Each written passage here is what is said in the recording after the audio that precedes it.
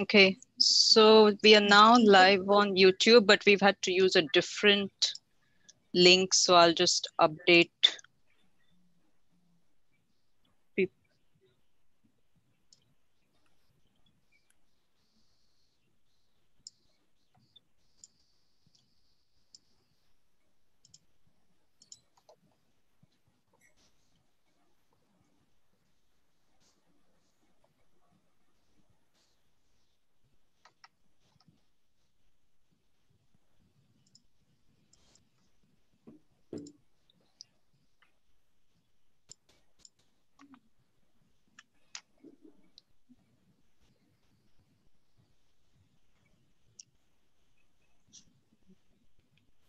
Uh, so I'm just updating a new link. Uh,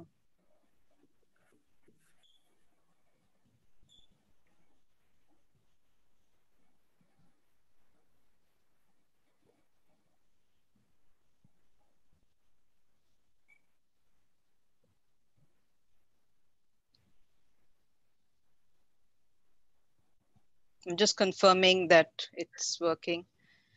Um, and we should be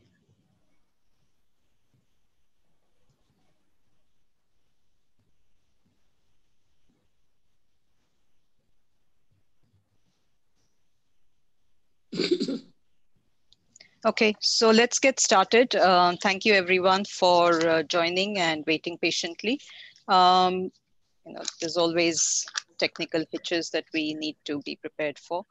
So good afternoon, good evening. Uh, welcome to this webinar. We are talking today on accessible housing, basic premise for interdependent living. Let me first start by introducing our panelists. And, uh, you know, we are being supported by uh, Rajesh and uh, Fizza. Uh, so start with, we have with us uh, Poonam Natarajan, who's the founder of Vidya Vidyasagar. Poonam, can you wave? Uh, former chairperson, National Trust, uh, MSJE, Government of India, and pioneer of services for persons with disability, which is a pioneer definitely and been in this field for a very long time. Uh, we have with us Shivani Gupta, who's the founder of AccessAbility, uh, self-advocate, and also the lead facilitator for TARA training, which you will hear about later. Uh, we have Krishna Kumari, who is a special educator and rehab uh, professional, project associate at uh, Tara uh, at Vidyasagar, and Veda, Vedavalli, who is the project associate at Tara Vidyasagar, supported by Rajesh as the sign language interpreter and uh, sorry, and Ved, Where's Fizza? Sorry, Fizza is not visible.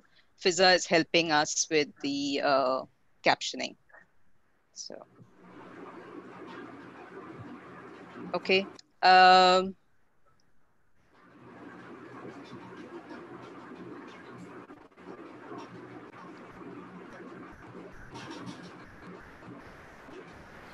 okay, so uh, let me also spotlight. So we've had to deal with some figuring out how this will work with uh, to make it uh, so we will all go off video and only rajesh the interpreter will be visible.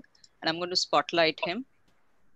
So we've just covered all the panelists uh, already. And uh, i'm also trying to share the link with uh, uh, sorry veda can you just share the link youtube link from the top with smita on whatsapp if possible? Thanks. Um, so yeah, just a quick intro on Patients Engage for those of you who don't know us uh, and a quick recap. Patients Engage is non-blind platform operational for five years. We are focused on holistic and evidence-based management of chronic conditions and disabilities from the perspective of the person with the condition or disability and family caregivers. We believe in the value of lived experiences and how being engaged and proactive leads to being empowered and having better quality of life.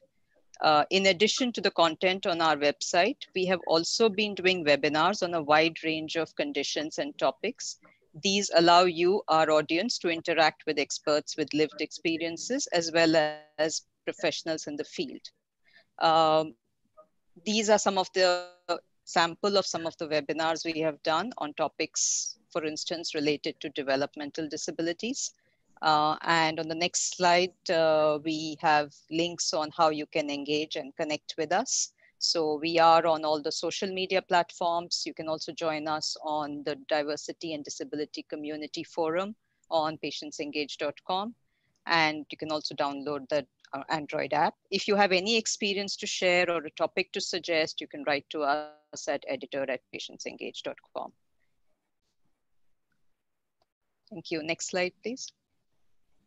Uh, quick guide, guidance to the attendees. Uh, you know, the information here, if at all, there is nothing medical today, but you know, if something comes up, it is not to be treated as medical advice.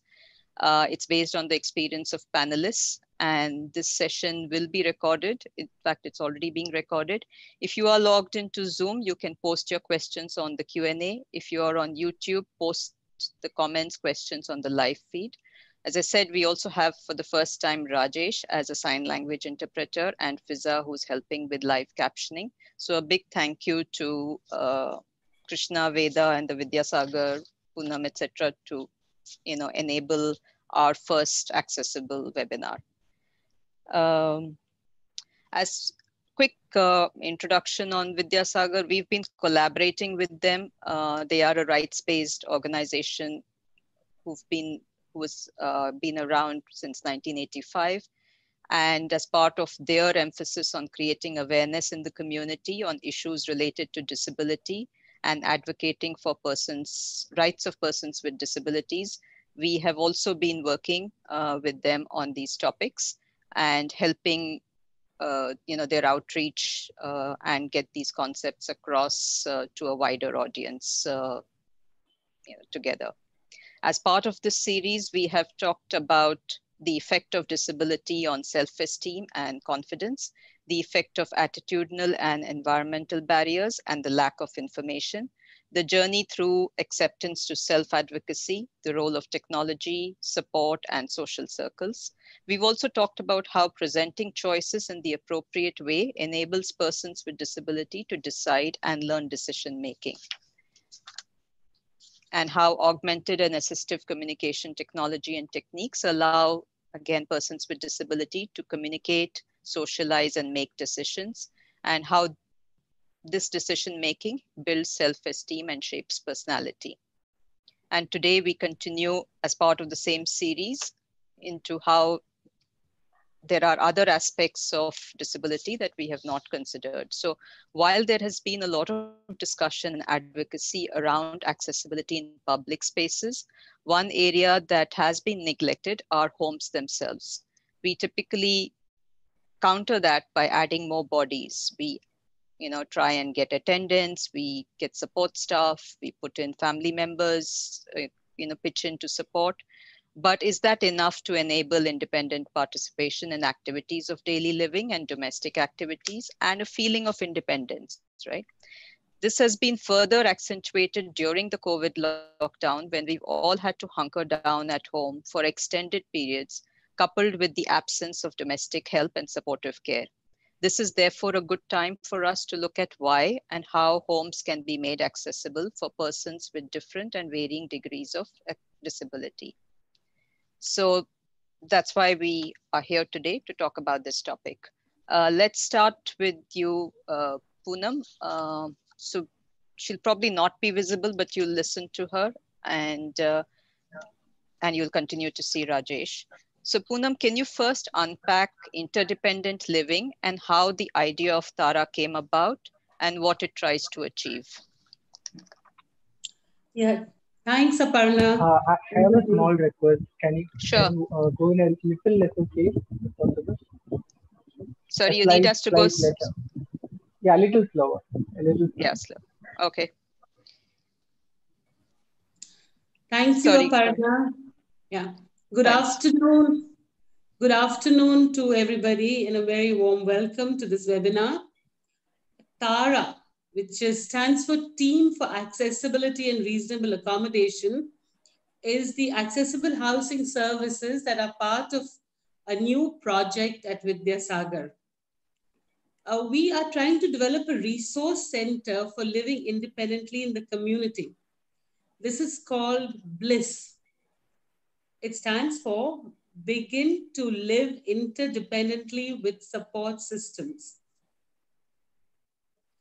In this project, there are nine pillars or departments which have been planned which will work together to create support systems for adults with disabilities.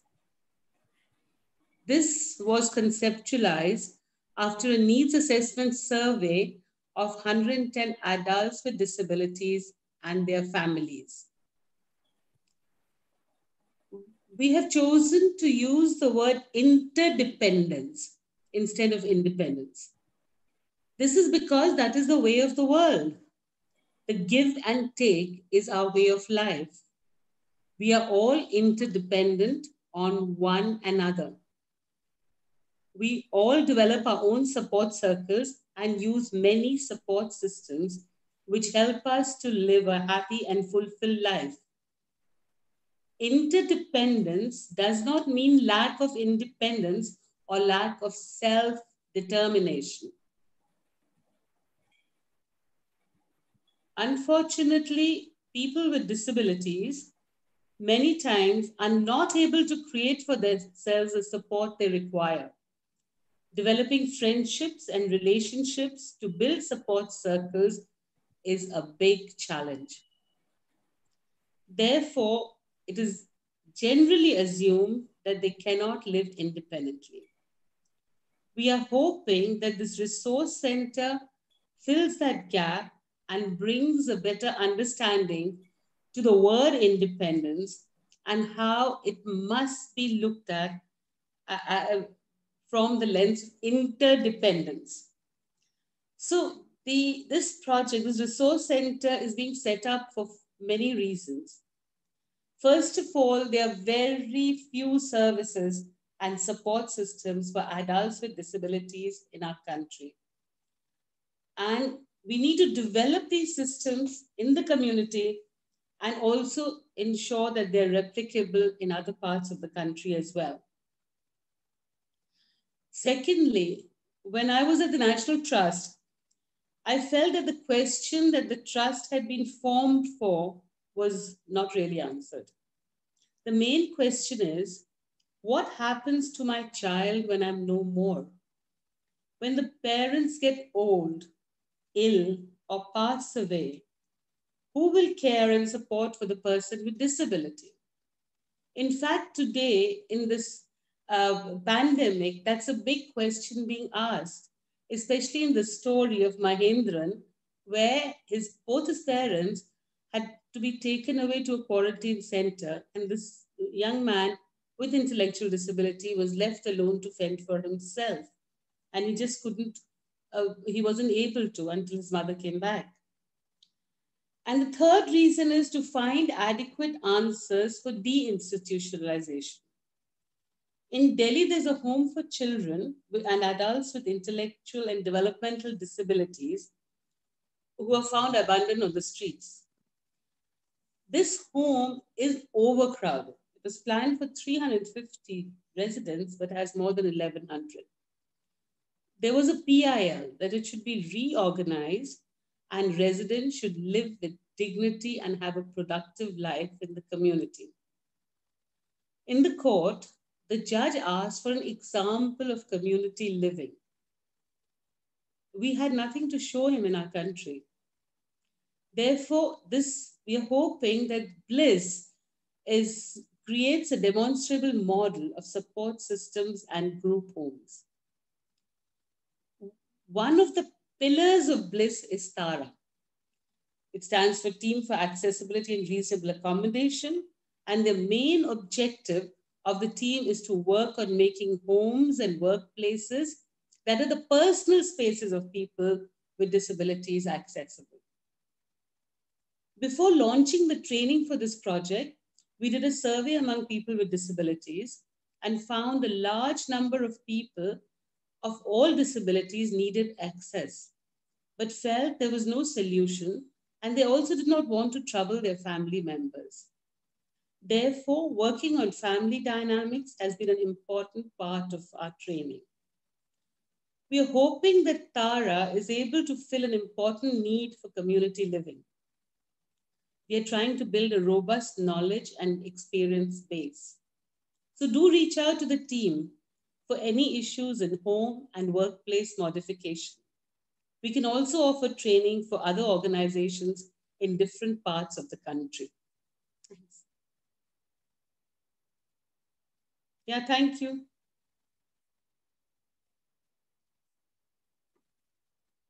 Let me unmute. Let me unmute myself. Um,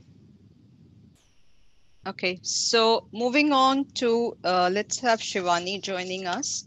Um, Shivani, can we understand whether accessible homes are supported by UNCRPD and RPDA?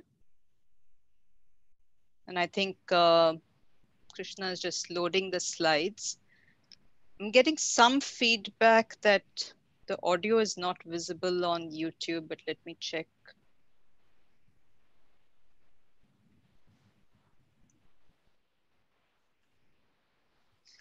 But go ahead, uh, Krishna and okay. uh, Shivani. So good evening, everyone. Uh, it's really a pleasure to be a part of this webinar. And I think uh, just seeing the number of participants we have shows how important and close uh, this issue is to our hearts.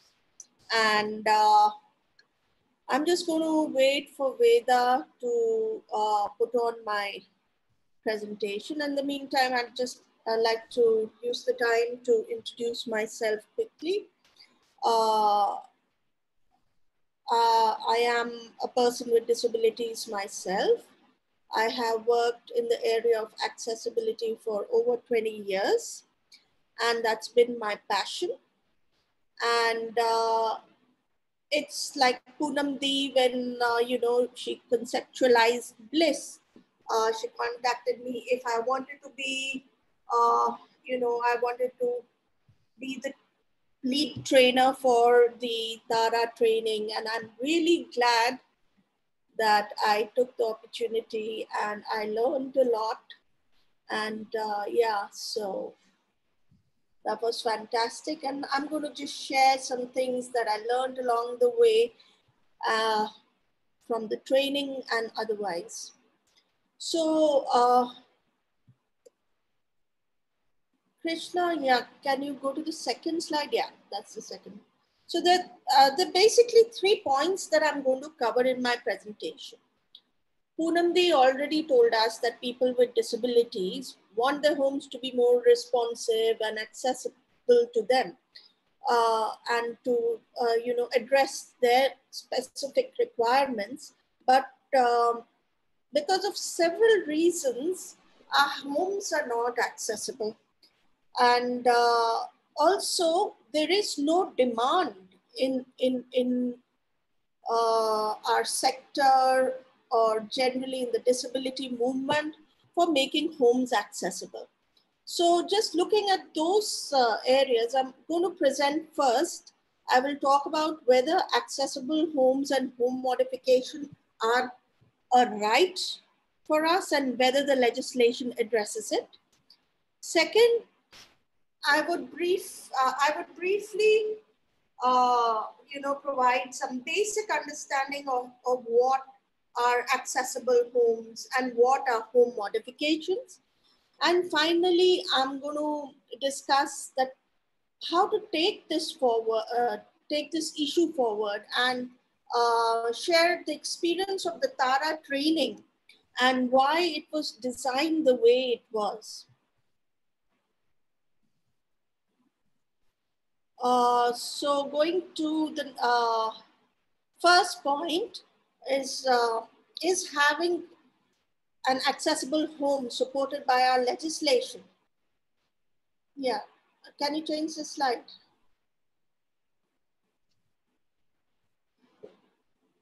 So considering that there has never been a demand for accessible homes raised uh, for persons with disabilities, I mean, I won't say never, I think that's a strong word. Maybe I should say that there hasn't been a significant demand raised for accessible homes by persons with disabilities, their organizations, or their families.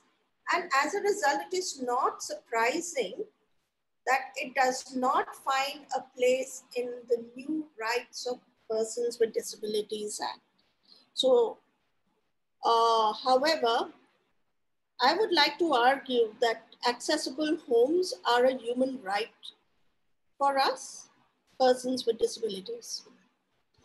So uh, to make my point, I would uh, first like to establish that adequate housing is a human right.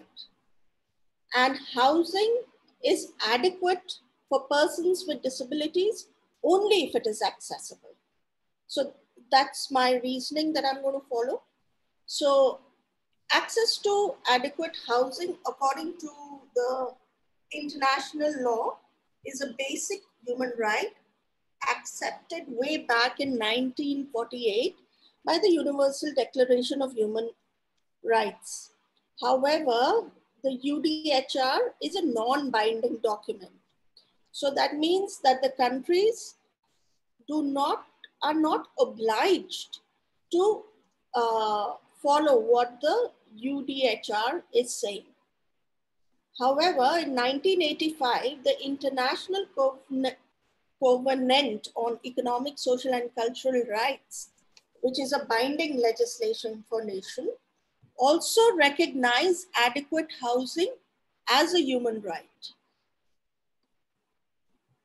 So therefore, by international law, definitely adequate housing is uh, considered a human right. Can we go to the next slide? So the uh, International Covenant on Economic, Social and Cultural Rights actually in its uh, general comment, uh, specifically general comment seven and four, has interpreted what adequate housing means. The covenant interprets the right to adequate housing as a right to live somewhere in security, peace, and dignity. Uh, and uh, persons with uh, disabilities very well know that uh, practical application of these three criteria are closely linked to housing being accessible. Then the covenant also requires that people should be free from forced eviction, which people with disabilities often face, especially in the case of rented accommodation. Adequate housing should enable uh, people right to privacy and family, which again, in the case of persons with disabilities is often ignored. And uh, I myself have come across several cases, especially in low income housing, where the disabled family member is housed outside in the veranda or even just outside the house because the house itself is too small uh, to accommodate either their bed or the wheelchair. And thus clearly denying them the right of privacy or family. So the covenant also requires that adequate housing must uphold the right to choose one's residence and determine where to live. So considering uh, that this freedom most often uh, is denied for persons with disabilities and uh, it is well recognized that it is denied. It is, this particular uh, aspect has been elaborated in Article 19 of the Convention on Rights of Persons with Disabilities uh, and has been interpreted extensively in the General Comment 5 of Article 19. Now, the interpretation of the covenant further states eight essential requirements of the right to adequate housing that very specifically address accessibility of homes for older persons and persons with disabilities, in addition to addressing other important aspects such as affordability, habitability, location, and so on. Now, these issues are very important for persons with disabilities uh, for whom the spending capacity must, uh, may be much lesser. So therefore, affordability is very important. Also, there have been instances, uh, thankfully fewer in our countries, more in high income countries, though very prevalent in our countries as Poonamdi mentioned, where residential facilities are built for persons with disabilities on the outskirts on the outskirts of the city. And if they're located in the outskirts, then definitely there is no inclusion, uh, especially if there is no accessible transport. Krishna, can we go to the next slide? Yeah. So the International Covenant on Social, Economic and Cultural Rights establishes what adequate housing is and establishes it as a right.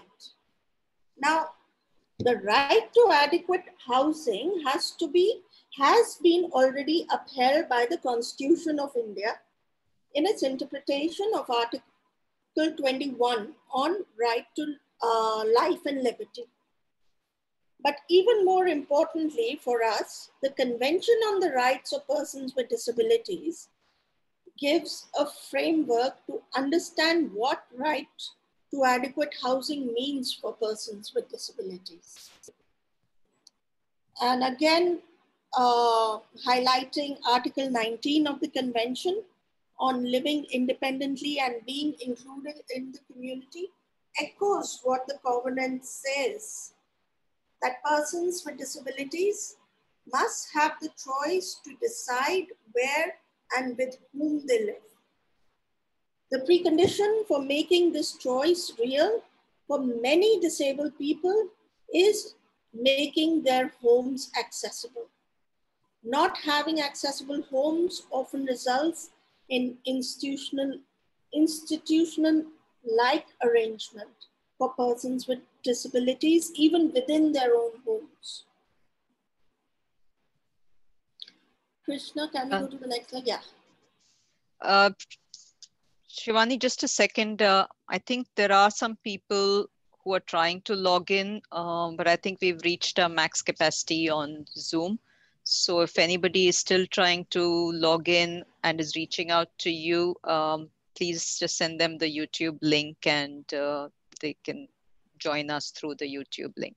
Thank you. Yeah. So next I'd like to talk about what are accessible homes and what is home modification. So yeah, okay.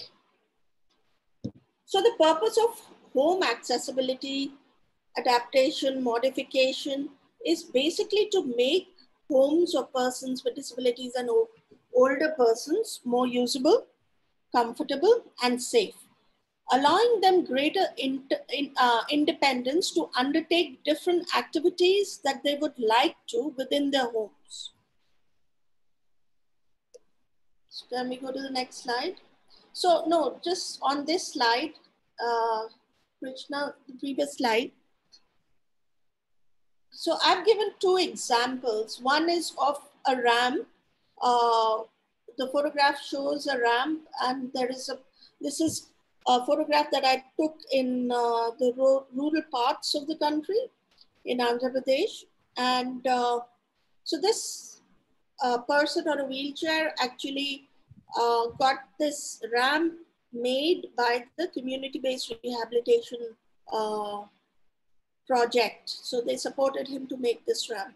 Whereas the other uh, photograph you see is like more in terms of making kitchens accessible. And that course, is just downloaded from the internet. But this also shows the difference between home modifications and accessibility. So if we can go to the next slide, uh, Krishna.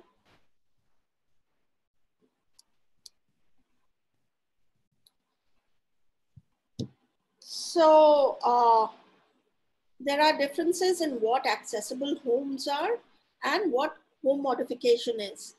And uh, basically accessible homes may be, may be seen as homes that are built based on accessibility or universal design standards. That would require all doors to be wide, at least one of the toilet come shower to be accessible, kitchen slab to be lowered or at a certain height, etc. So accessible homes are standard driven, like public space accessibility. Whereas home modification, I would say that home modification in relation to accessible homes is similar to what reasonable accommodation is in relation to public space accessibility. So therefore, home modifications are customized solutions to suit individual requirements and are driven by the demand made by the disabled resident. So they are a, a customized solution and the demand has to come from the resident, whether it's a disabled resident, it could also be from the family. So that's the difference between accessible homes and reasonable accommodation. Um, Krishna, can we go to the next slide? Yeah. So next I'd like to talk about how can we approach these issues. I mean, we know it's a right for us, but the rights of persons with disabilities has not addressed it adequately. However, the UNCRPD is saying, well, it is a right and persons with disabilities should have accessible homes. So how do we approach this issue?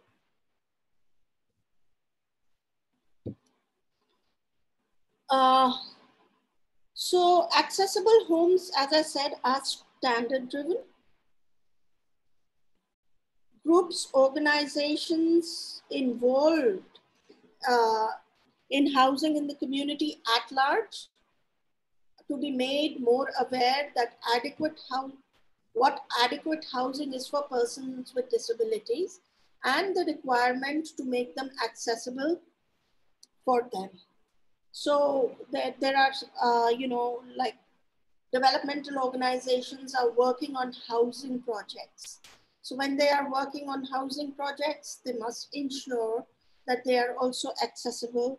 They include accessible features in the design. Then the Rights of Persons with Disabilities Act to recognize the right to accessible housing and therefore it requires an amendment.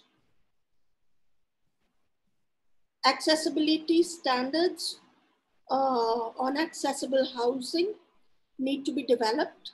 Public spaces have different requirements and definitely housing is different and needs to be addressed differently and it needs to have its own standards and guidelines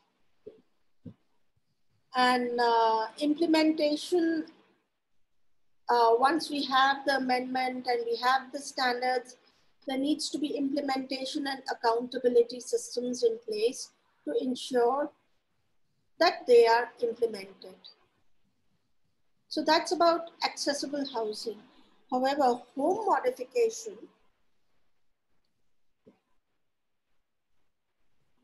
I'm just taking a pause for the person captioning. Okay, so home modifications on the other hand, as I mentioned, are individual driven. The need for home modification must be recognized by the legislation for sure. Otherwise, we would never be able to modify our rented accommodation. Even in our own homes, we may be discouraged to build ramps and put elevators if required. So it has to be recognized by legislation. Home modification guidelines developed for uh, must be developed for different disabilities. But what do home modification mean for different disabilities? And there has to be awareness raised about it. provision of home modification to be linked with existing housing schemes, and additional innovative funds uh, may be uh, budgeted for to provide these. And uh, I'd like to just give an example of uh, the Indira Awas Yojana, for instance. Uh, the Yojana has a reservation uh, for persons with disabilities, a quota. However, does not require that the houses should be accessible.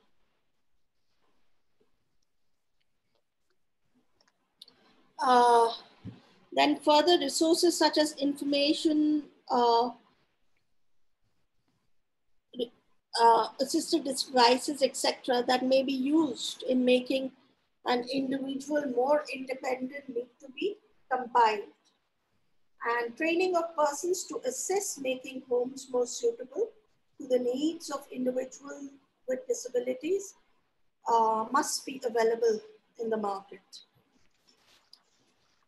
Yeah. Can we change the slide? Krishna? Yeah, she's done that, yeah. Okay, thanks. So uh, in the end, I would like to actually talk about the good example of TARA and uh, how the team was created. Poonamdi already talked about uh, the, you know, the gap that existed in terms of a model and uh, why a team like a TARA team is important. Uh, I would like to talk more in terms of what kind of training happened. So basically it was a three month uh, extensive training with practical experience organized by Vidya Sagar in a technical partnership with AccessAbility. Uh, Krishna and Veda are both part of the training. In addition uh, to them, there were four other trainees, and the trainees also included persons with disabilities. So the training had six modules uh, that were decided after several consultations with, uh, uh, you know, senior member of uh, Vidya Sagar uh, and consultation with other people, other professionals. And the modules were designed uh, recognizing that accessibility of public spaces is very different from addressing accessibility of personal spaces. So that was a basic understanding that we took when we design these modules. So the module one, the first module was on rights of persons with disabilities in relation to independent living. The module aided to establish a rights-based understanding of accessible homes and included the understanding of the CRPD. In addition uh, to the Indian Constitution, the Rights of Persons with Disabilities Act, and other schemes, rules, etc. that exist in the area of independent living. Module two was on understanding disability. The module aimed at creating an in-depth understanding of barriers faced by persons with disabilities, uh, persons from different disability constituencies. And may I remind you that according to our act, now there are 21 different types of disabilities that are recognized. So the module actually had self-advocates from 21 different disabilities coming and sharing their lived experiences. So module three was on assistive devices and uh, technology. The aim of the module was to provide detailed information on assistive devices and technology, including communication, mobility, independent li living, accessibility aids, etc., uh, that can aid uh, independence. Uh, we also covered and addressed the process of procuring these and the gaps that exist in the system.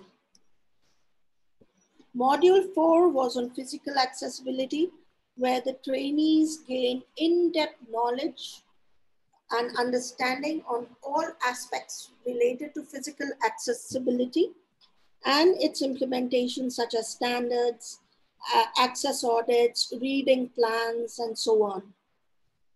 Uh, module five was on managing dynamics. This module was very important from the context of inter interdependent living that Poonam talked about right in the beginning, uh, which implies that people live together and not alone, supporting each other. So in the case of persons with disabilities, they most often live with their families in the community. While offering home modification, agreement of the family and at times of the community becomes important. And the trainees learned to manage and negotiate interpersonal dynamics in creating home modifications. The last module was on home modification itself that aimed at aligning all the knowledge that they had gained over these months to align it together, enabling them to provide home modifications. Uh, there were also practical experiences of home visits of accessible homes that the trainees got. They also worked on providing home modification in six homes that Krishna would be elaborating on after me. So I'm going to end with that and I would be happy to answer questions at the end of all the presentation. And uh, I would just like to leave uh, my contact details on the screen. Yeah, thank you. Right. Thanks, Shivani. Um, I know we are kind of uh, beyond our planned time. But while Krishna is loading uh, her set of slides, uh, there is a comment, Shivani, I don't know if you want to comment on it. Uh, RPD Act, Nilesh uh, says RPD Act may not have anything specifically to existing homes be made accessible. However, 37A and B provide 5% reservation for housing for PWD. This could be a basis to demand accessible housing. Yeah, I would completely agree with Nilesh. As I said, um, there is a reservation, there is a quota in all schemes for persons with disabilities, but what we really need to demand is that it needs to be coupled with accessibility. Otherwise, just getting a home allotment is not going to really help us to be right. independent. Right. And while again Krishna is loading her screen, uh, one more question that's come up, uh, maybe we can take that. Can the RPDA 2016 be amended to mandate accessible housing? Uh, I think uh, Poonam Di may be more apt to answer that question. Sure. My sure. Yeah, immediate response would be, I'm sure it can be. Yeah, Poonam Di, maybe you can. Yeah. yeah, I think I agree with Shivani. If um, uh, there's never been enough demand in our country on homes being accessible. But i think if there is and if if we can build that kind of a consensus then i, I think an amendment is possible. Why not? Right. Thanks. Krishna are you ready to start? Yeah Parna, yes. Yeah we're not seeing your sliders yet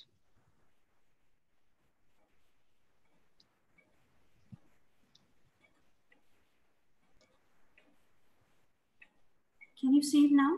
Yeah, yes.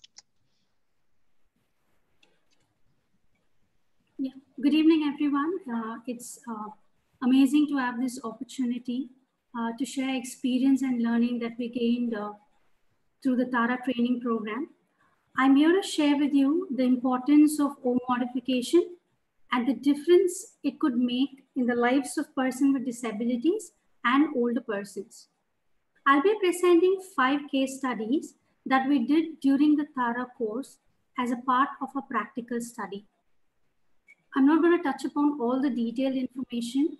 Instead, I'm going to share the comparative analysis of these case, uh, case studies from various perspectives and the impact that this whole home modification uh, process could have. During the TARA training program, uh, as Shivani ma'am highlighted, we gained insight on all the 21 disabilities that had been identified under the RPWD Act. We looked at barriers and home modifications required for all the 21 disabilities and the learning that each disability would need diverse modific modification requirement. But for the practical study, we had the opportunity only to work with persons with multiple disabilities with a commonality that they were all wheelchair users.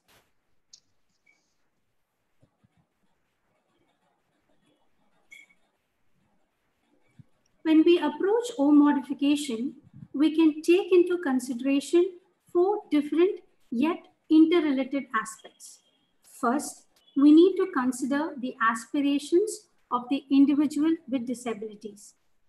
Secondly, to understand their functional abilities and needs. Then the family dynamics. And finally, we look into the barriers in the environment, which includes both physical and attitudinal barriers. These factors are very important to consider when recommendations are made. Aspirations. All of us have aspirations, right? Our personal aspirations can contribute to developing as a person and becoming who we want to be. Aspirations may vary based on many different factors such as age, gender, education, socio-economic background, etc. This wheel here reflects the dream and aspirations expressed by five persons whom we were associated during our work. The first one, a young entrepreneur who runs a Montessori school and who wants to expand her work, a young dynamic graduate working in an NGO sector who wants to become more independent in her daily living activities, a happy couple, homemaker married to a journalist, both of them are persons with disabilities, a teenage girl and a self-motivated advocate who wants to start cooking for herself in the hostel kitchen. We understood during the process uh, that the teenage girl has no aspirations as a result of a difficult socio-economic situation. She lives in the slum with five members, family members in a single room house. Both the parents are working hard to make ends meet, mother shuffling between day shift, and father goes for night shift just to ensure at least one of them is with their daughter at all times. Such vulnerabilities have had an effect on this girl, leaving her hopeless without aspirations. Therefore, when we evaluated our stakeholders' home, we were driven by their aspirations. And in the case of no aspiration, we considered greater independence as their aspiration.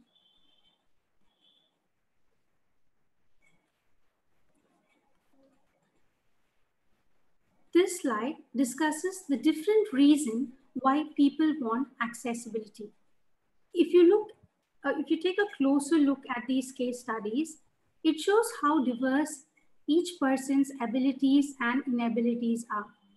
As I mentioned in the introduction, our experience during the practical study was limited to persons with multiple disabilities only. As you could notice, most of them are persons with physical impairment who have limitations in mobility and require varied level of support to complete their ADLs. ADLs are activity for daily living. Each one of them has a varied level of functionality if you take a look at uh, the case study number three, the homemaker, even though she's independent in all, uh, you know, activity of a daily living, she finds accessing and reaching kitchen counters, top shelves, washing machine difficult because she is a ground level mobility user. And in the teenage girl's example, she has difficulty in accessing the Indian toilet adaptation.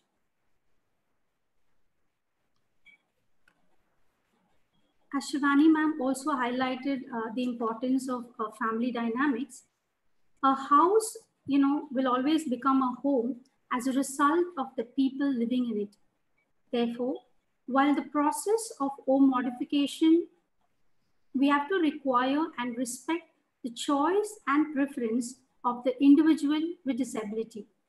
But what's equally important is respecting the choice and comfort of other members living in the home. As a facilitator, we try to understand the needs of the person with disabilities and the family members. We negotiated the O modification solution through a collaborative and supportive decision-making process. I would like to uh, you know, make specific mention uh, of the two case study, the advocate who was living in the hostel and the young lady who lives in an apartment.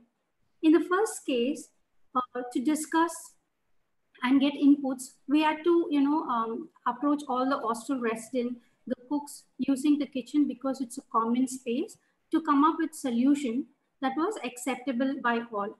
In the second case, in the case of the young lady, we needed to discuss with the parent and also meet all the resident of the housing block because it's a flat and uh, you know the association members to get their agreement uh, to build a ramp because it was common um, you know at the common entrance another important fact to be considered is the socio-economic background of the family.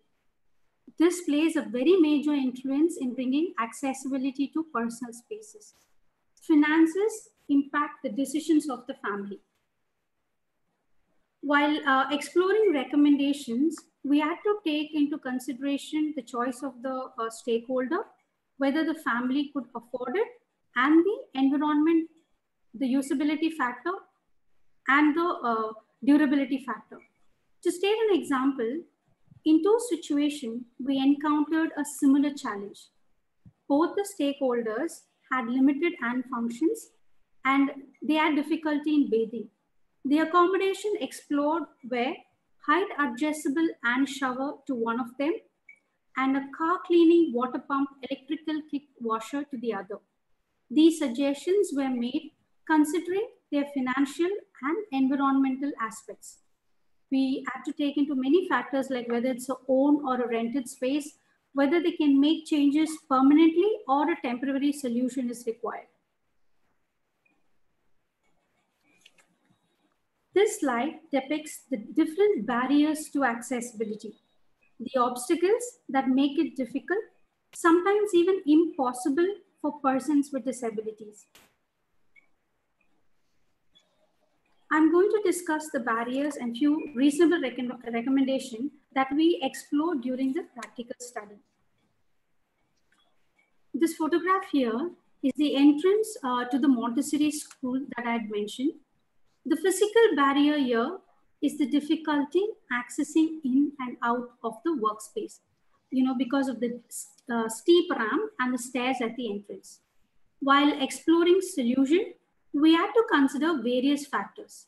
Uh, the area in front of the stair is a common zone, which is ad adjacent to the flat entrance, which lead to another, you know, uh, flat uh, uh, house. Hence, the family was concerned about building a ramp or making any changes in the common area, uh, fearing that you know people in the apartment may object. So here we have to deal with the attitudinal barrier uh, in the community also, which involves negotiating with the flat association members and also other flat owners. So in this case, taking all these considerations, we suggested a platform lift had to, uh, you know, as it would not require much breaking or construction compared to a permanent ramp. Again, the high cost was a concern. Hence, taking into consideration the family's economic requirement, an affordable solution was also suggested, which is a foldable ramp, which is effective and portable, which has both, if I, uh, you know, uh, the cost factor and also the portability factor. when when I highlighted about the homemaker's difficulty, where she had, uh, you know, because she's a ground level mobility user, she also had difficulty in, you know, um, taking clothes outside from the top load washing machine and uh, to dry the clothes. So the reasonable accommodation explored in this situation was a laundry grabber, uh, which was used to retrieve clothes from the washing machine and reach clothes, which is at, in the bottom of the tub. And another solution was a mounted ceiling hanger for drying clothes, uh, which is operated, uh, which has an easy to operate pulley system, which can be pulled up and down according to a height adjustment. This is the entrance uh, to the teenager's house, which is in the slum area. The first picture, um, you know, shows the entrance to the house. And, uh, and, and, next to the door, you can see a narrow passage which leads to the bathroom, uh, which is a common area. Mm, you know, this because of the stairs, it was making it very inaccessible for her to move independently. She also had difficulty accessing the toilet space. Uh, and every time she has to be uh, carried by a family member through this narrow corridor. And most of the time, there were a lot of, uh, um, you know, uh, water filled and, you know, there were a lot of pots kept on the way because uh, of the water scarcity. So the solution that we explored uh, was a commode with a caster, which was uh, customized, which can be customized, suiting a specific needs and body measurement and also considering the narrow uh, passage and you know because it was a common space we also explored uh, an option which is a flat foldable steel frame with height adjustment and detachable commode battery, uh, bucket so uh, you know this can be easy for the parents to kind of fold it and use it only when she's accessing it. The next one. This is the kitchen space in the group home. Uh, many options were explored for making this an accessible kitchen. Um, we also had to, uh, you know, make take into consideration uh, all the hostelites and cooks' feedback, uh, and putting together all this, we uh, came up with many, you know, accessible features. I'm only going to highlight some of them, which are, um, you know, kitchen countertop basically the work surface that will be installed at uh, accessible height uh, and if you notice in the first picture, there is no base cabinet. So this will allow you know enough knee clearance and toe clearance for uh, wheelchair users. The next one uh, for the kitchen sink, a 360 degrees rotatable holder with spray and uh, shower function for easy reach and access. And also it helps to clean you know deep vessels. And the last one is uh, you know pull down spice rack and uh, you can also see a transparent multi-storage container with handle, which makes it easy to hold. And it has four, uh, you know, uh, cabinet, you know, uh, to kind of uh, store for assorted items uh, according to the usability and, you know, the frequency of the items which is being used. Barrier-free accessibility in home as well as other environment are the need of the hour now. This means that a person is only disabled to the extent that there are barriers in their functioning. If the barriers are eliminated, such as providing a ramp instead of the stairs, the, in all the case study we saw like, you know, most of them had difficulty uh, getting in and uh, out of the home or workspace. So in those cases, if we provide a ramp, definitely, you know, it becomes easier for them. So then the disability will not be a challenge anymore. Finally, to kind of sum up from all the case studies, uh, I would like to reiterate that uh, O modification is individual driven. Shivani ma'am also highlighted the importance of it. Unlike accessibility, this is standard driven, uh, you know, which is inclusive of standard guidelines, whereas O modification includes accessibility, along with other common components like social, cultural, all these goes into consideration when we look out for a solution. And uh, person-specific needs. There are different reasons why people want disability, like in all these five case studies we saw. In O modification, what is possible depends on the person's specific needs. It is not disability specific. The disability or the label doesn't matter here we need to explore specific modifications suiting each person's needs and differences and explore an individualistic solution.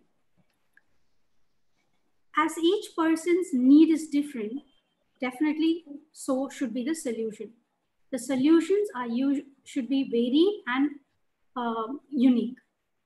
What works for one person may not suit another as everyone has different requirements. When we suggest modifications, we need to ensure that it fits the person's need, whether it will pave way uh, for their aspiration, whether it is agreeable with the family members, and whether it meets the social, economic background, and the cultural aspect of the family. And we also need to consider the different level of functionality and the rehabilitation that has been provided. One of the important things that we need to always remember is that creating opportunities is more important than just rolling down to solution. And uh, finally, family dynamics. To think about everyone's need and uh, you know ensure to make that the family are a proactive uh, you know members in the whole process and also to take the effort to make them understand that there is a easier life and it is definitely possible. So what we understood during our experience with these five people is that home modifications and improvements can help one to maintain the independence and provide economic benefits. These in turn will provide enhanced self-esteem and confidence, promoting inclusiveness. Even a small change that Sorry. we make uh, Krishna, can, bring... can, you hurry up and wind up? We are already. Yeah, I, am the yeah, last bit. Even a small change uh, that we make uh, can make a huge difference in respect to accessibility. So let's remember from this webinar that this is the first step towards accessibility, starting right from our homes. Thanks. Thanks, uh, Krishna. And while uh, Veda loads up her uh, uh, slide. Uh, I think we can take a couple of questions that have uh, come in so far. Um, Poonam, this is, I guess, a question for you. Can TARA team train people in other parts of the country? Veda, continue to set up, please. Uh, yeah, Poonam, yeah. Yeah, that actually that's the big question that we have been thinking about whether we could set up a online course would there be people wanting to do such courses uh, we have had a few questions from different uh, cities in the country but uh, we're still looking at it but certainly we would like to train in different parts of the country and uh, and try and see if more and more such teams can come up which can help with uh, breaking down barriers and making homes more accessible. Right. Thanks. Uh, yeah, Krish, uh, Veda. So, can you talk us through? I guess uh, you know what is the model accessible home uh, that you created and demonstrated, and uh, how it is in how it deals with various disabilities as well, and not just uh, you know motor and movement related. Sure. Uh, hi, everyone. Happy to connect with you all. Um, in this discussion on emphasizing the need for accessible housing, I feel happy uh, to talk about a milestone project of TARA uh, and the impact it created. Uh, the project was basically a model accessible home uh, which was established at Tamil Nadu Expo 2020 uh, as part of the presentation, a short video tour will also be shown. Uh, the expo acted as a carrier to deliver the need for accessible homes uh, for independent living to the general public and also to observe their acceptance of the same. So to begin with, basically uh, the expo is a yearly event which is organized by the Tamil Nadu Tourism to tap in the festive spirit and it aims towards promotion of tourism.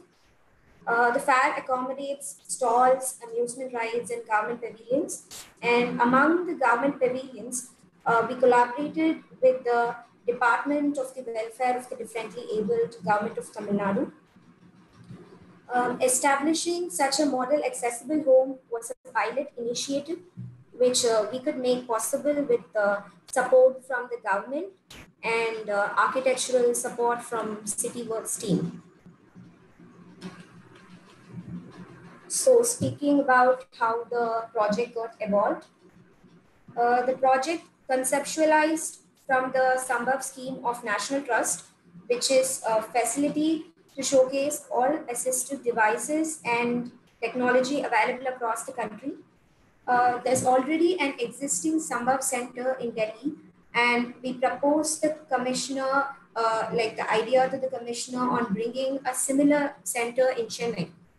This is an upcoming project, and we tentatively call it as the Museum of Possibilities, which will be a permanent display come demonstrative center of assistive aids and appliances. Inspired by Sambhav, uh, we organized a similar initiative at Anna University, Chennai, commemorating World Disability Day on 3rd December 2019. Uh, the event was a one-day program where uh, the assistive and adaptive aids were exhibited in a stall. We received an overwhelming reception.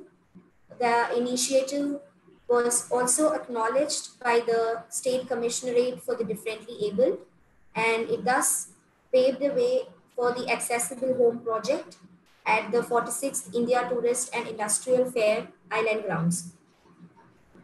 Uh, so the expo was a 75 days exhibition, which was inaugurated on December 22nd, and it extended till March 7, 2020.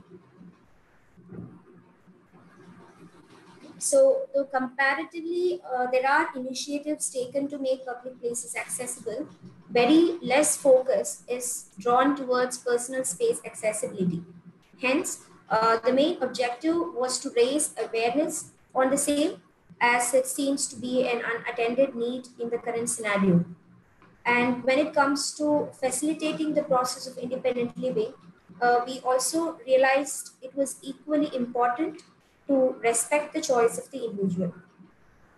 Whenever uh, someone speaks of accessible homes, whether the online or other resources are concerned, we find most of them are from Western context. Hence, uh, we wanted to create the model accessible home completely in the Indian context with locally available resources.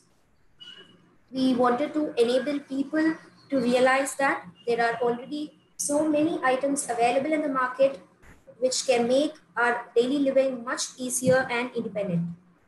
We focused on the following domains, uh, which included the independent living unit, uh, which had the living room, dining, uh, kitchen, bedroom, and bathroom, the leisure unit, uh, the education, and AAC, which is the augmentative and alternative communication. And the other objective that we wanted to convey was bringing in accessibility to home need not be an immediate and one-shot process, but it can be achieved progressively. We can now watch a short tour video of the accessible home.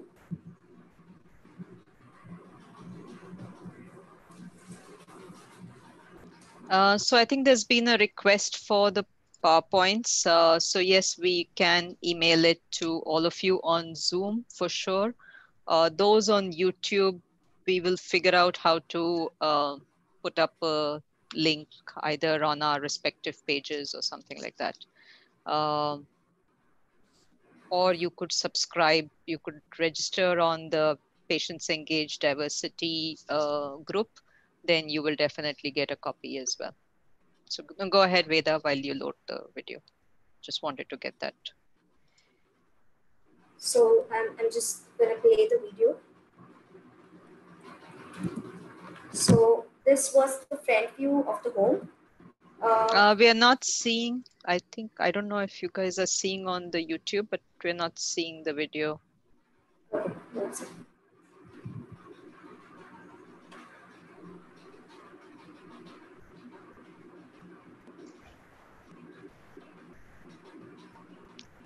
think maybe it's better that you stop sharing this and reshare, yeah.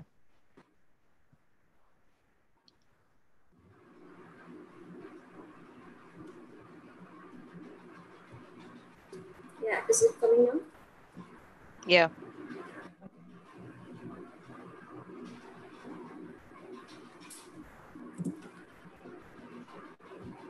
I'm very conscious sure. that we are well beyond time, so just kind of get the key points out, please. Sure, sure. Yeah.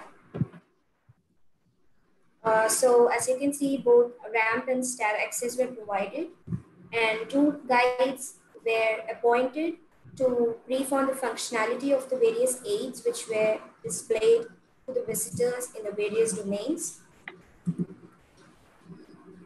As we enter, this was the section of the stall which had government and other organizations displaying their schemes and products for persons with disability. Uh, a tactile plan of the home was also made available and displayed at the center, at the entrance. You can now see the accessible living room. Uh, every aspect starting from the type of furniture used and its arrangement to the type of flooring, lighting, safe and barrier-free navigation was ensured. The demonstration products, shelves and switchboards were mounted at an accessible height. As we move from the living room comes the accessible dining and open kitchen area. Uh, this is just a closer look at the items which were displayed at the dining area, like uh, two handle mug weighted cup, some adapted spoons, etc.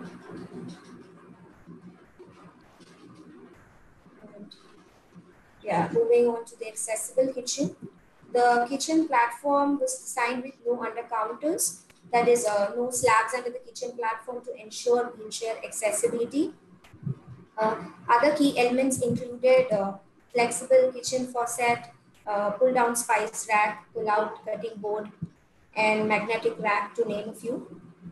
Uh, the majority of the products were designed on universal design uh, principles, ensuring that it suits people with different abilities. Uh, for example, if you could consider like the vegetable cutting board, which is shown now, it enables a user to fix the vegetable on the nails and he or she can do the chopping using one hand. Uh, it has also got those edges which can serve as reference for a person with visual challenges to move the chopped pieces to another container. The edges also serve um, to fix a bread slice while you spread jam or any other fillings. So among the items which were displayed, some were customized while others were directly procured from the local market.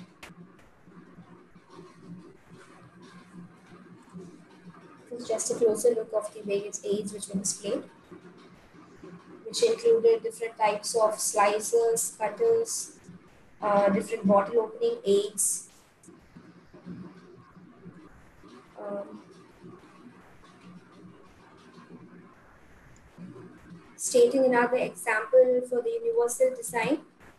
Uh, this is a easy holding pen. Uh, the pen has got a spiral wire which is attached to it from a base which can be fixed on a table. In case while writing, if the pen slips, the wire enables the person to easily pick and hold it back. Henceforth, it suits uh, persons who find it difficult in bending and even visually challenged. Moving on to the accessible bedroom. On the right side of the bed, a desk with education and AAC, which is the augmentative and alternative communication aids, were kept for display. Items displayed in this area included adjustable backrest, uh, uh, support for getting up from bed, bed pull-up strap, adapted nail cutter, transfer board, etc. the video now shows the educational and AAC, that is augmentative and alternative communication aids. So the left corner of the bedroom leads to the accessible bathroom and dressing area, which is shown now. It included uh, permanent fittings at accessible height. Few key elements included the collapsible dressing table, foldable shower seat, uh, portable jet spray, etc.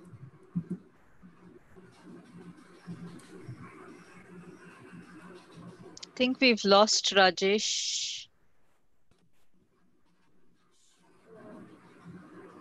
Should I pause for a while? Uh, I don't know if he's coming back on. Yeah. Ah, he's back. He's back. Okay. He's back. Yeah. Go ahead. So these were some of the dressing aids which were kept for display, like uh, PC Pull Sock Aid, Adapted Comb, etc. So as mentioned earlier, the leisure unit was also included as part of the home. The leisure unit uh, domain covered music, uh, sports, and gardening.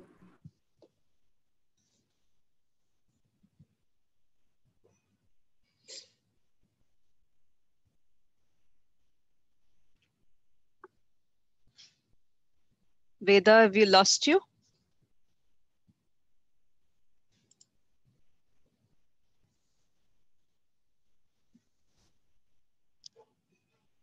I think we've lost Veda.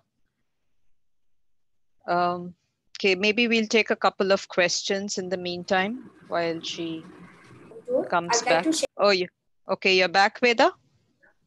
Yeah, yeah, she seems to be back. Yeah. Veda, we... Hello, yeah. So yeah, go ahead, Veda. Yeah. So as part uh, as part of the awareness building, an inclusive sports event was also organized during the Pongal holidays on 16th and 17th of January 2020. Uh, the general public were allowed to try out the adapted basketball Boccia, which is a Paralympic game for wheelchair athletes, and adapted 19 ball. Uh, Veda, you're not sharing any more screens, right? So can I just put everybody back on video? Uh, I just have a last slide to be included. So. Okay. All right. So these are few glimpses from the expo. Uh, it witnessed a steady flow of visitors. I think we are not seeing the video anymore.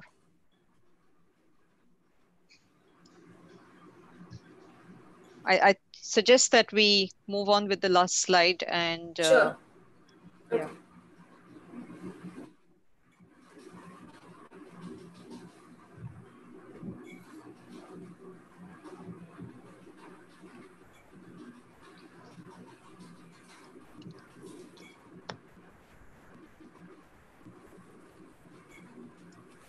So uh, sharing the impact uh, ach achieved through the expo, uh, it served to be an excellent platform to build awareness on accessible housing.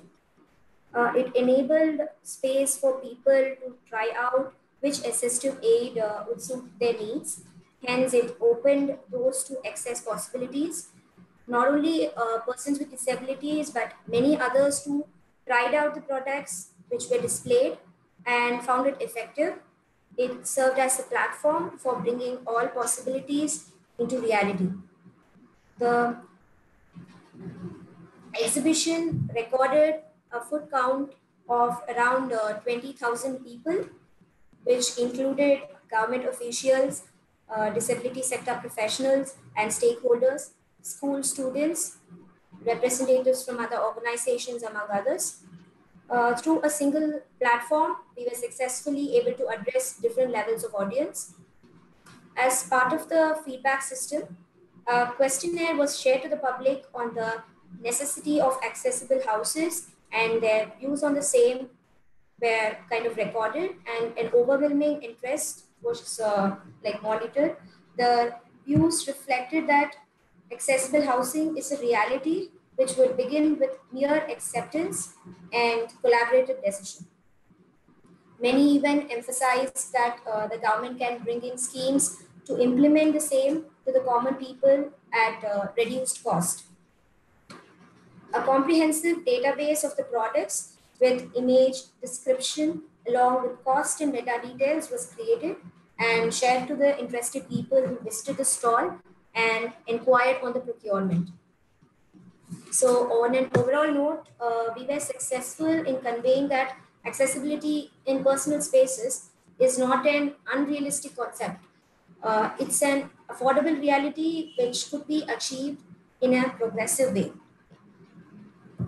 Right. So the, the database, just like last thing, the database mentioned earlier will be an ongoing process which uh, we will be maintaining and updating as we come across other new aids.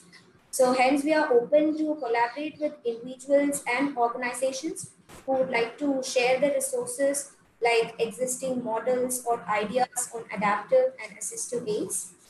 Uh, you can reach out to us using the details shown in the slide. Right. Thanks, uh, Veda. Can I request all the panelists to turn their video on now uh, so we can take the questions? So let me start. I think Shivani, you've already marked one that you would like to take. Uh, Subhash said the National Building 2016 uh, code uh, provides that all public housing, whether private or government, will ensure accessibility the code is being adopted in many states now. Uh, Shivani, you said you would like to answer that. So, yeah, I'd just like to point out that when we uh, look at the building bylaws of states, they exclude personal uh, homes. So therefore, uh, it is not mandatory for personal homes to be accessible. Uh, so even if we have the building codes, it's not going to really apply on those.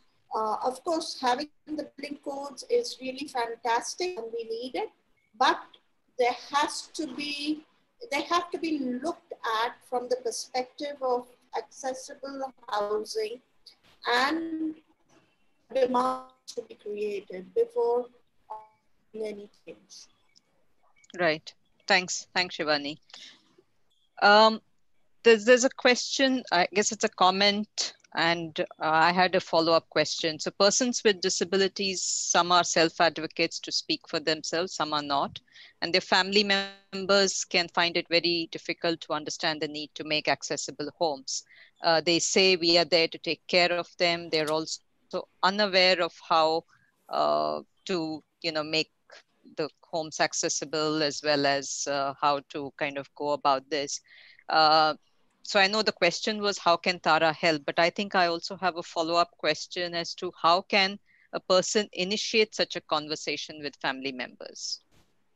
Because it can be sometimes quite challenging if, as, as uh, Umul said, that if they're not self-advocates. Um, so who's going to take that question? Oh, can I can I answer that? Sure, sure. Yeah.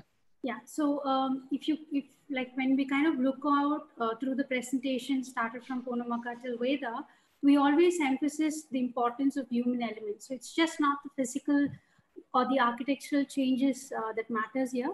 So it's just the human element which uh, we consider the value uh, and the attitude that the family has been carrying.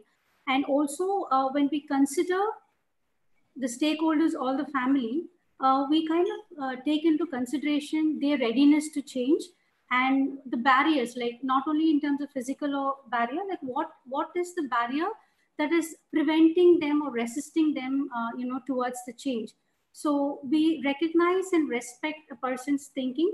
Uh, we believe that it's the uh, outcome of their, uh, you know, life experiences, belief system, and you know, cultural thinking so we facilitate a lot of conversation, you know, dialoguing and, uh, you know, discussion with the entire family members individually and, you know, as a group. And, uh, you know, we basically enable acceptance of change to, through these conversations. And uh, to, towards the end, we don't go for unrealistic goals. We derive a very uh, smart goals, which are very specific, uh, measurable, achievable, and, you know, very relevant and time bound and as Veda also mentioned, in a very progressive realization way, which is like we do a lot of, you know, suggestions, but we ensure that it is prioritized and, you know, those changes can, you know, made like one uh, step at a time. And uh, we elicit, uh, you know, a lot of motivation towards these change by uh, helping them to connect with a lot of self advocates and people with disabilities and different forums. So, you know, they could kind of engage uh, with these knowledge. Okay, thanks, Krishna. Sorry, Poonam, you wanted to add something? Yeah, yeah, it's actually, yeah, just to add to what Krishna said, uh, you know, it's just, it, it looks like a very formidable thing, you know, changing the whole household. But it's actually a barrier, attitudinal barrier. Because once the family understands that the person can become more participant in the home, they can help in the kitchen, they can, you know, go all over the house, they're not sitting in one place, they can move around, they can uh, participate in various activities of the household. Uh, families slowly tend to um, become more uh, uh, want to actually participate and in thinking up of ideas of how to make it accessible. So I think it's more about awareness creation and uh, uh, telling them that it's, it's possible and it's not going to cost the earth and it's not going right. to be something that will take one year of some the whole household being topsy turvy or something. It's just right. about how to reorganize ourselves. Simply right. Thanks. Thanks. Yeah. yeah, Shivani, you are on mute. You'll have to unmute to answer. So I actually just want to add to what Poonam De and Krishna have said, is that accessible housing would also reduce the amount of care and support a disabled person requires at home. Because if we are able to make them more independent, they would be able to do some of their activities of daily living themselves, Correct. putting a lesser, uh, you know, less amount of care that the family requires. So it makes right. a lot of sense for them. Right. Thanks. Thanks, Shivani. Um, we've got a question. Consent of local self-government is a precondition for construction of every building, including a house. Is free accessibility being made mandatory for giving consent for construction? I guess this is Shivani, you? Yeah, so yeah. as, as I mentioned, mm. uh, if we go to our uh, building bylaws, uh, basically all everything is constructed in different states based on the building bylaws that they have. Now the building bylaws exempt personal living spaces. Mm. So personal homes are exempt from it. So while we may say that the building bylaws need to follow, uh, I mean, everything needs to be accessible by as per the building bylaws, but because personal homes are exempted by the bylaws, then those accessibility criteria would not apply on personal right. homes. Right. So at the moment, it does not, uh, I mean, it's not mandatory to make your homes accessible. Right, thanks. And neither is it uh, mandatory for, uh, you know, municipality constructions like the DDA and all those things to ensure that right. housing they provide is accessible. Right, right. Uh, there's two kind of similar questions. Uh, and of course says this is most impressive. Can you consider a traveling exhibition? Uh, what about sourcing the assistive devices? But the other part is can TARA training be offered in architectural schools too? And somebody else says we need to make accessibility part of the architecture course. Can how do we go about it? So who wants to, I guess the traveling exhibition part, I think Poonam, you've kind of said yes, uh, but we'll have to look at digital traveling in these COVID times. Uh, yes, yes. but on the architecture course, any thoughts on that from either of you or anybody? Yeah, yes, Shivani. So having worked in the area of accessibility for nearly 20 years, mm. uh, and having pushed and pushed and pushed architectural colleges to actually make universal design or accessibility as a core topic for uh, you know their course has not happened as yet it is mm. still an elective students mm. can decide whether they want to take it. If you approach right. the architectural colleges, they say that uh, we uh, uh, we ensure that the field work or, or, or the models and the drawings, the practice that they have to do, they have to address accessibility.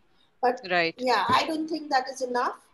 And uh, much more, I mean, they really, really needs to address it as a core subject. Right, right. Yeah, okay. I think that will be dream come true, I want to add. That if it can actually be part of architecture courses. Right. So I suppose it's something for the future. Yeah. But I think it's worth keeping at it. So uh, I don't understand this question, but maybe you guys do. What do you provide e-certificate? I guess it's do you provide e-certificate? Right, I guess. Sure. Yeah. Any certificate on what? I guess the TARA training. TARA if they become a... yeah, yeah, yeah, yeah. We haven't actually. The TARA training has. Uh, we it, it's a Vidya Sagar training to uh, as a, as one part of a larger project which we are trying to do on independent living. We we haven't yet really uh, gone that far to try and find out if we can get any formal certification on the TARA training. Right. Or right. The, the, the, the, people who did the TARA training, Krishna Krishna is already a special educator. Veda is an engineer. Bhavna is a graduate and Harishankar uh, is a graduate who's a, two people with disabilities. TARA team is four people, two people with disabilities and Krishna and Veda. And mm. they, they, they were not keen on a, I mean, for a regular uh, certificate. certificate. And even the other four who did it were not part of the team, but who've been trained in it. They were okay without this. But I think as we go on, and if it really becomes a need, of course we'll go out there and try and find a, a certificate for it. Right. Yes, yeah. Especially if you're going, I mean, if you're training other people around the country, for instance. Surely. Um, and you have to be yeah. accredited and things like that. Yes. Correct. Correct. Uh, so there's a question on residential facilities. We have many residential facilities available in India now. Uh, first of all, are there any guidelines available? And if there are, what are the monitoring and rating systems to see whether they follow the guidelines? Can I just, you know, uh, when I was in National Trust, we had tried to set up minimal minimum standards for residential facilities, and we brought out a little book, but it never mm. became a formal guideline. Really, it was mm. something that was recommended to uh, uh, residential facilities. So we really haven't looked at that. We actually, at the moment, since we're looking at, we would like to look at group homes maybe, uh, right. But we are, we are at the moment only really want to focus on different kinds of homes in different kinds of settings. Because I think that's step one if we th- think about support system in the community and how can we formalize it. And of course, uh, these minimum standards, National Trust had brought them out as a kind of a recommendatory uh, guidelines but uh, no formal guidelines, so to say, are there, as far as I know. Right, right. Yep, Shivani.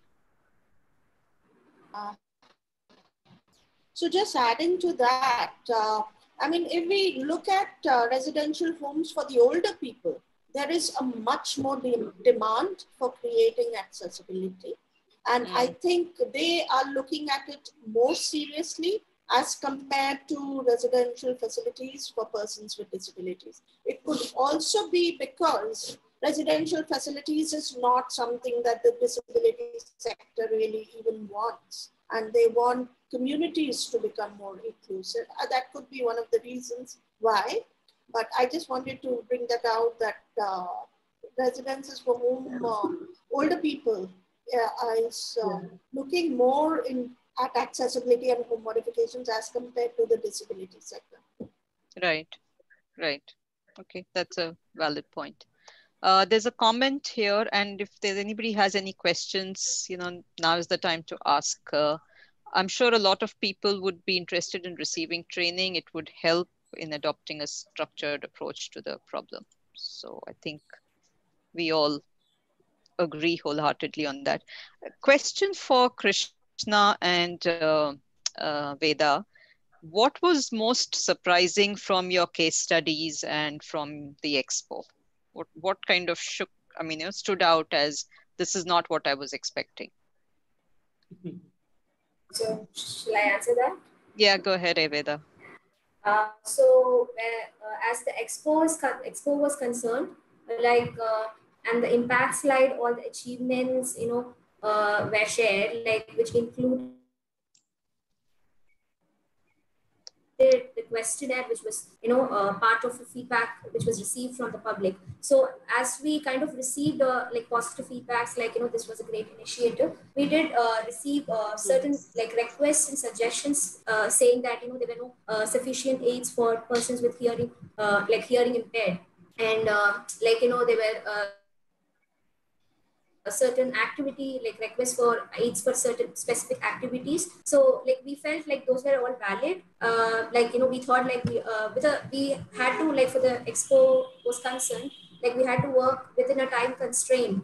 Uh, so like we like kind of reached out to organizations who were like who had their uh, resources available for procurement. And uh, like so like within the time constraint we were uh, like possible like what how much ever aids were possible to be procured, we just kind of uh, got in. And uh, like, you know, those uh, feedbacks were valid actually. Like, uh, like, and we thought like we could kind of uh, bring it in when we are kind of uh, bringing the museum of possibilities, which is like an upcoming project. So we just thought like we can kind of in, incorporate those like drawbacks or shortcomings which we kind of experienced in the expo. And when the case study is concerned, uh, I, uh, let's not say like it's a shocking thing. Like we just felt like there were a few challenges which we kind of experienced. Uh, one was the very level of acceptance. Like you know, uh, like since the training was part of Vidya Sagar, uh, so like most uh, most of the case studies were like alumni of Vidya Sagar. So like many were already aware uh, like of bring uh, and were open to kind of modify their home to make it more accessible but there were certain factors which were kind of standing as barriers like financial uh, elements. And most of the uh, case studies were like in rented spaces. So though their family and the stakeholder were open for changes uh, there was a little hesitance to kind of approach the association and the kind of like the house owner to convince them to make uh, like a permanent change. Because changes when it comes to making uh, homes accessible it's not not only about getting a, new product and kind of bringing it to home it's also about some permanent changes. So that was one of the challenge. And uh, one other major challenge was like whenever we were suggesting few uh, recommendations there were no uh, like a ready-made facility where people can go try it out and then kind of convince themselves to like make sure that this is going to be suitable for me. And so i can just bring it like you know incorporate in my home so there was no like a ready-made facility where people can go try it out. So like TN Expo was just like a example of that. So like when we kind of uh, brought in TN Expo, we uh, we kind of uh, approached our stakeholders, asked them to kind of visit the expo, try out, uh, try out those assistive aids, and like you know, this was like a like very good balance between the challenge we faced during the case study as well as like you know the, ex- the impact the expo created because of that. Right right. Okay. Um couple of questions sure can i just add yeah. one point to what veda said? Yeah, yeah, so since she was mentioning about the attitudinal barriers uh, and you know uh, and even when Poonamaka highlighted that you know the change is like not massive and even a small uh, modification man, can make a huge difference so when we invited uh, uh, our, uh, you know, people who approached us to come and visit the TN Expo, parents became very, you know, enthusiastic. So they called, called back and apart from whatever we suggested, they saw many product which was available at the TN Expo, and they started approaching us whether you know that would be suitable to their daughter or like for self advocates. And if they try, they like, can I use this? So that's that's one of the reason you know the importance of why we should have a model where people can actually come and try take a first hand experience before you know implementing or making a you know massive change or you know investing in it. Right right. Um, thank you. So there's a question um, is there scope for converting the needs of residential not converting, sorry, converging the needs of residential facilities for elderly people with that of persons with disabilities. And I think to me, it's not just about facilities. I think it could even be at home, right? So in a home, people as they age also acquire disabilities and, uh, you know, we do not consider options for them to continue to stay independent as much. So uh, to me, I think it's not just about a residential facility, but it's also about at home. Um, but any any thoughts on this, Poonam or Shivani? Yeah, I think you're very right, Aparna. In a home, there's a, whole age. There's so many different ages, and there will be the elderly also at home who may need the same facilities. I mean, I, it, I have seen that in many places in other countries where the older people are using some of the same assistive devices as people with disabilities. So, of course, when we are looking at the home, and also we, when we're talking to the family, the parents are aging, their needs are also there. So, when you look at the, how, the plan that you make for the accessible home, will mm. take into consideration the elderly as well as the um, aging parents and their needs in the future, as well right. as the person. Right. I right. thought uh, older people and people with disabilities because we're trying to we're trying to actually promote deinstitutionalization and let's try and see if we can get people with disabilities in the community in group homes. But yeah of course there will also be residential facilities and yeah that could also exist. I mean i, I think you need to look at the whole range of kind of facilities and people can choose where they want to live. Right. Yeah um, so there's a question, we need to create a rating system to bring in accountability. How should we go about it? For access and homes? I guess, yeah, for accessibility.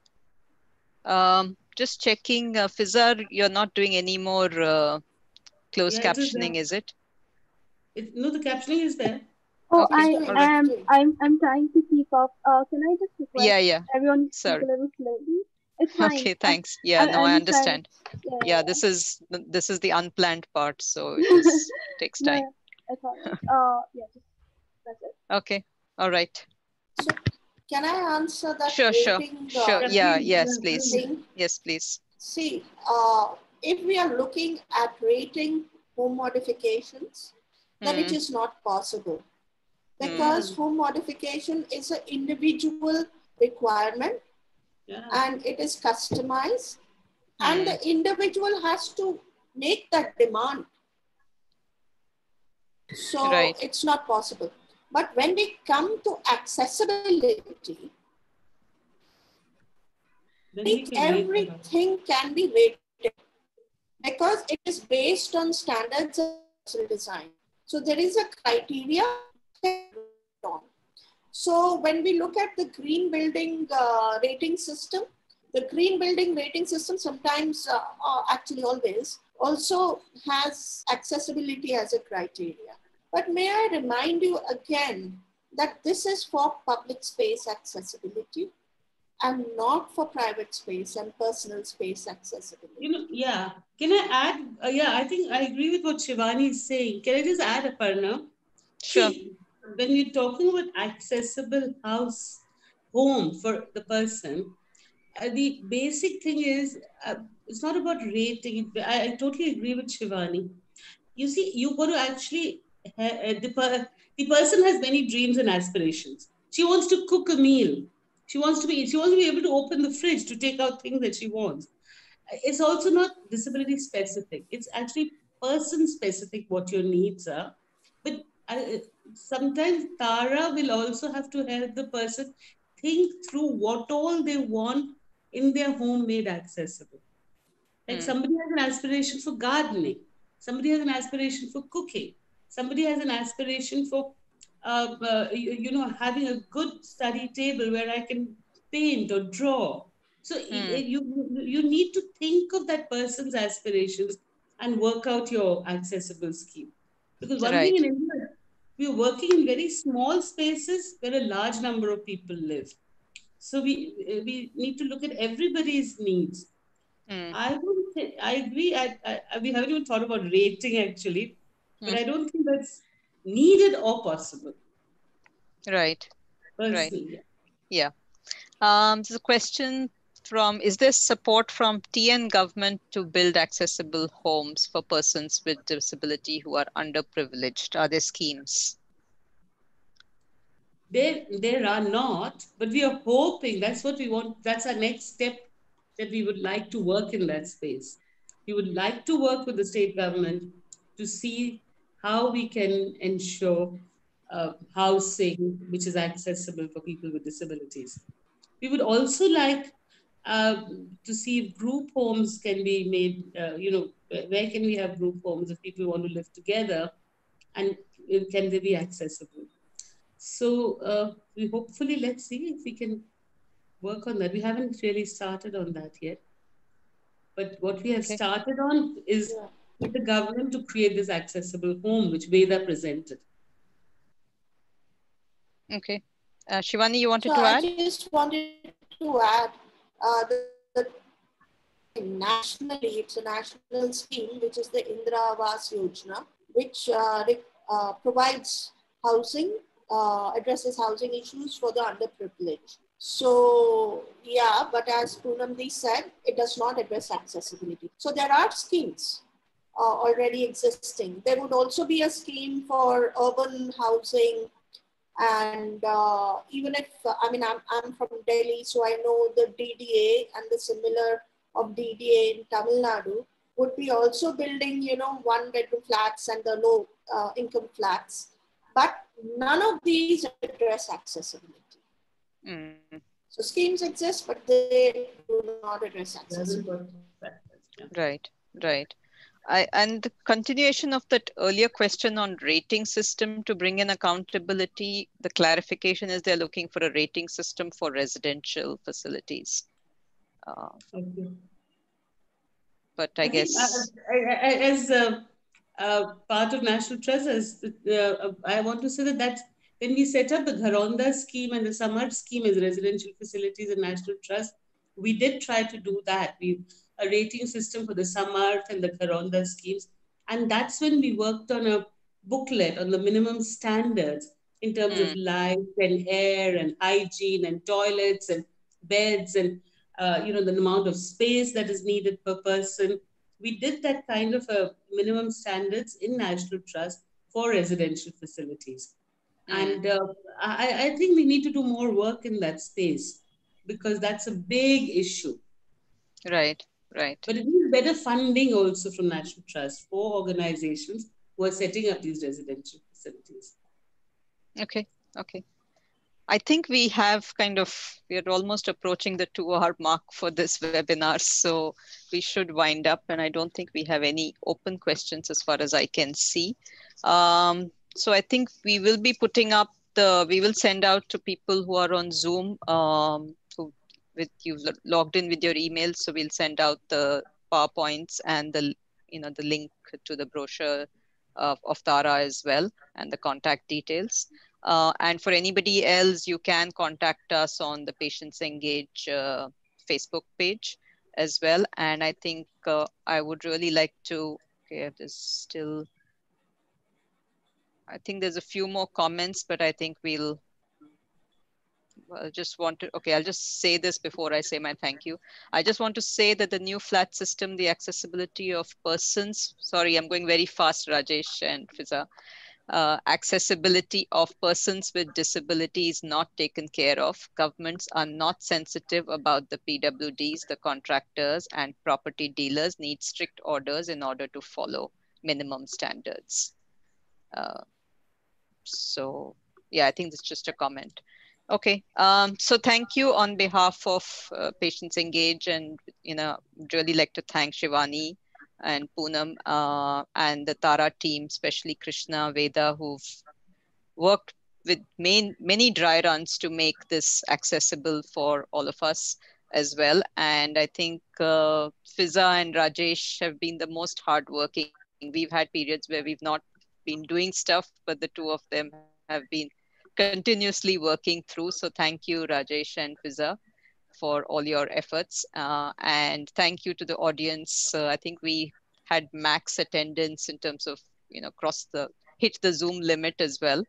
Um, and yes, and, and people stayed for so long, at least a lot of them. So thank you, everyone. Thank you, Poonam. Thank you, Shivani, thank you. Krishna.